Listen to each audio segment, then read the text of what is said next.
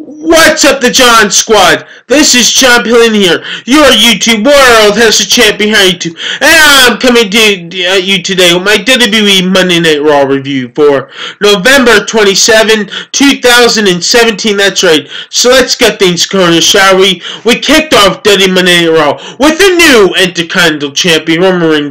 He gets on the mic and talks about last week was a big week for him that he is the new Intercontinental Champion, and that the Shield beat the New Day at Survivor Series a couple weeks ago, and that we will not see the Miz for a while. So then the Miztourage comes out, Bo Dallas and Curtis Axel come out and talk to Roman Reigns and says that they know someone that could take the Intercontinental title from him, and that person is Elias. So Elias says that he is going to be taking that Intercontinental title away from Roman Reigns tonight.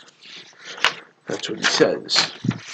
Then the first match you had on Raw was Seth Rollins versus Cesaro, and the winner was Seth Rollins. After the match, Seth, Seth Rollins gets on the mic and has an interview with um I don't know who that ring announcer lady name is, uh, Charly or something like that, but has a ring announcer, has, has kind of promo and stuff like that, and says that the Shield is not broken up and stuff, and they're not going in separate ways at all, and that um that next Monday Night Raw they get the Raw Tag Team title shots against Cesaro and Sheamus, and that the Shields will hold on to their belts. Awesome. Let's go Seth Rollins and Dean Ambrose next Monday Night on Raw.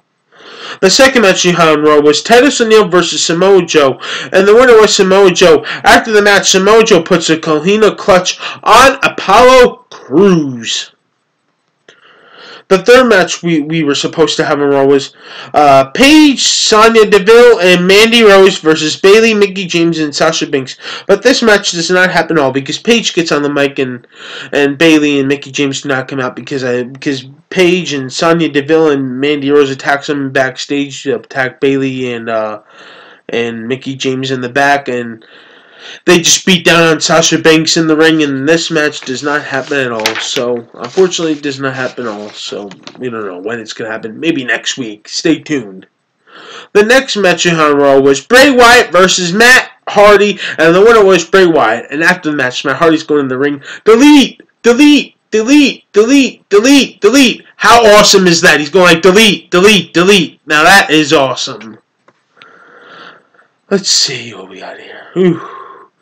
The fifth match in Raw was a fatal four-way match. Rich Swann versus Akira Tozawa versus Daivari versus Noam Dar, and the winner was Rich Swann. Styling, profiling, da da da da da. This Levin's theme song. Another match you had on Raw was an Intercontinental Championship match. Elias, who wants to go walking with Elias, versus Roman Reigns, and the winner was, and still our Intercontinental Champion, Reigns. After the match, Reigns is uh, up upon the stage, and Samoa Joe attacks Reigns from behind to put the Coquina clutch uh, submission hold on top of Reigns on top of the stage, and that ends that segment. So then, uh, the next match you had on the row was Asuka versus Dana Brooke, and the winner was Asuka in a quick second. One, two, three, in a quick second.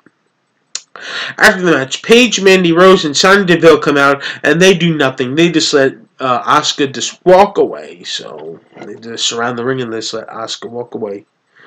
So then another match we had on Raw was Jason Jordan versus Kane, and the winner was Kane by countout because but count out because Jason Jordan couldn't continue the match because his knee was hurting and stuff like that after he just landed a big bump outside the ring.